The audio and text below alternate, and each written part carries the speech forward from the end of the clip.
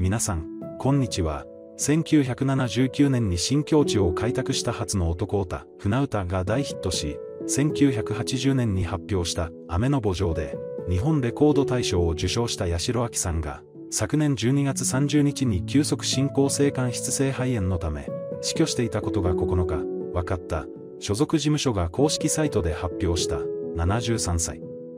熊本県八代市出身、葬儀は8日に執り行われた。昨年8月28日にブルーノート東京でバースデーライブを行い、いつもと変わらない歌声で観客を魅了したほか、昨年9月9日には埼玉県熊谷市での公演、日のテルマサクインテッドにゲストとして登場していた。その3日後の同月12日に所属事務所を通じて、膠原病を患っていることを公表し、年内の活動を休止することを発表していた。誰もが一度聞けば忘れらないハスキーボイスの持ち主、歌が好きだった父親の影響で、幼少時代から地元のコンクールに出場。ただ、ハスキーボイスがコンプレックスだったというが、父親が飼ってきた米国のスモーキーボイスの女王と呼ばれた、ジャズ歌手ジュリー・ロンドンの歌声をレコードで聴き、自信を持ち、歌手を志す、16歳で銀座のクラブに立ち、幅広い曲を歌った、同じクラブで歌っていた歌手三谷健に、後押しされ芸能プロダクション入り、1971年に愛は死んでもでデビューした。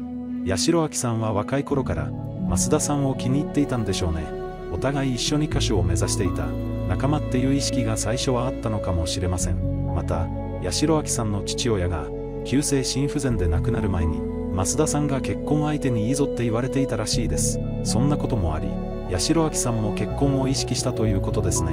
八代亜紀さんと増田信さんはいわば歌手とマネージャーの関係だったようですが、それがいつから交際に発展し、結婚したのでしょうか。出会いとしては八代亜紀さんは、先輩でも売れている歌手で、後輩だったのが増田徹さんですね。その後、増田さんが田舎に帰ったと書きましたが、ずれ戻したのも八代亜紀さんということで、好きだったのではないでしょうか。結婚されたのは八代亜紀さんが44歳の頃ということで、1994年になりますね。交際期間は5年で、八代亜紀さんが増田信さんに逆プロポーズをしていたそうです。あなたと結婚してあげてもいいわよ、と言っていたそうですが、増田さんはマネージャーですから、と断り続けていたそうです。各家にお嫁さんが、八代亜紀ってなんかプレッシャーがすごそうですから。しかし最終的には1年ほど経ってから、増田さんの方からプロポーズして結婚されていますよ。1994年1月にハワイのオアフ島で結婚式も挙げていますよ。二人とも晩婚だったこともあり、二人の間に子供はいないということですね。仕事もプライベートも一緒だと疲れる感じもしますが、結婚生活は27年ということです。しかし2021年6月に、八代亜紀さんが増田信さんと1月に離婚していたことを発表されました。長年連れ添っていたのに、どうして離婚したのでしょうか。八代亜紀さんは、離婚に理由はなく、話し合いの結果長年のパートナーシップを解消して、別々の道を歩んでいくということになったと発言しています。数年前から残りの人生の過ごし方について話し合っていたそうですがそこで意見が合わなかったということでしょう。離婚したことにより増田さんは八代亜紀さんの個人事務所の代表取締役は辞任していますが仕事の相談に乗ったりサポートは続けるということです。私生活のパートナーは解消するけど仕事のパートナーは続けるってことですかね。これが本当ならば嫌いになって別れるわけではないのでしょう。嫌いなら仕事でも会いたくないでしょうからね。しかし、この離婚ですがある噂が上がっています。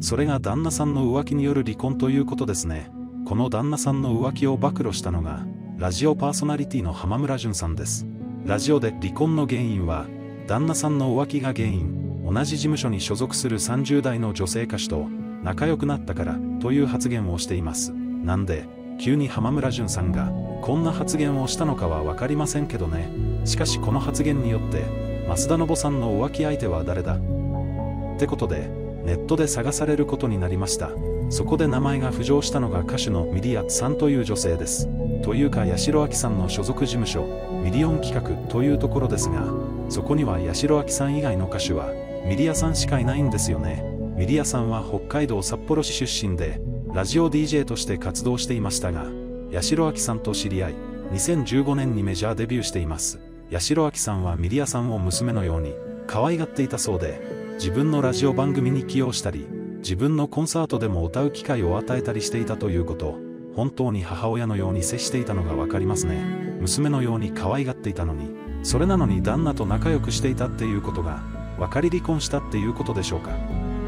本当だとすると八代亜紀さんがかわいそうですけどね。しかし、ミリアさんはこの記事に対して、事実ではないと否定しています。ファンの皆様に心配をかけて、申し訳ないともコメントしていますね。どっちが真相なのかは分かりませんが、この離婚の後にミリアさんは事務所を退所されています。契約満了を迎え独立するってことなんですが、これこそ本当なんだろうかと疑ってしまいます。タイミング的には増田さんと仲良くなったのがバレて、八代亜紀さんが怒り、旦那と離婚してその浮気相手のミリアさんも、クビにしたっていうのがしっくりきます。っていうかそれしかないでしょうって、ぐらいのタイミングですよね。ということで、八代亜紀さんの言い分と違うわけですが、どちらが真相かはわかりません。また独立したミリアさんについても、今はどのような状況なのかはわかりませんね。その独立した先に増田さんがいるのであれば、浮気は決定的と言えるでしょうが、そこもわかりませんでした。ただ一つ言えるのが、八代亜紀さんがいたからこその増田信さんであり、ミリアさんだったと思うんですよね。八代亜紀さんの後ろ盾がなくなった今は、二人は苦しい状況なのではないでしょうか。増田父さんにしても、八代亜紀さんの助けがあったからこそ、陶芸をやったり、自由に生活できていたんだと思います。離婚したらそういったサポートもなくなるし、大変な気がしますけどね。八代亜紀さんとしても70歳の時に離婚ってことで、よほど我慢ができなかったということでしょう。熟年離婚は珍しくもないですが、難しい問題ですね。離婚してもお互いがサポートし合えればいいとは思いますが、八代亜紀さんはまだまだ元気ですし、素敵な歌声を聞かせてほしいと思います。別々の道へ進みますが、お互い離婚してよかったと思える人生を過ごしてほしいですね。彼女の病気に関するニュースを見てみよう。2014年6月29日放送の駆け込みドクター。運命を変える健康診断って人間ドックの結果、レッド判定が出てしまった八代亜紀さん。医師の解説によると、MRI 画像で白い影が認められ、隠れ脳梗塞の疑いがあるとのことでした。進行すると脳卒中のリスクが高まるため、要治療です。さらに詳しく見ていくと、八代さんは中性脂肪と悪玉コレステロールの数値が基準値をオーバーしていて、脂質異常症であることも明らかに脂質異常症とは血液がドロドロになる状態で動脈硬化ひいては脳梗塞心筋梗塞の危険性を高めます動脈硬化の予防には魚の油に含まれる EPA を積極的に摂取することオリーブオイルエゴマ油アマニ油も効果的なのだそう。番組では動脈硬化を予防改善するためのふくらはぎ体操も紹介されました。ふくらはぎは足の血液を循環させるポンプのような機能を持つためここを鍛えることで一酸化窒素の分泌が活性化するそうです。ですが前述のように脳梗塞予備軍ではあったものの深刻な脳血管疾患を患ったという情報はありませんもともと八代さんはあまり口を開けて喋るタイプではなく性質もハスキーなので声が内にこもっているように聞こえる傾向はありますね加齢によって滑舌が悪くなった可能性もありますが少し安心できるのは2023年の時点でさらに悪化しているようには見えないことでしょう。口述しますが、体調は上々と語っているところを見ると、ご本人にとってはさほど深刻な問題ではないのかもしれません。八代亜紀は2023年現在も精力的に活動中。2023年3月15日にはシングル「思い出通り」をリリース出世作となった「涙恋の海の親」で恩師の子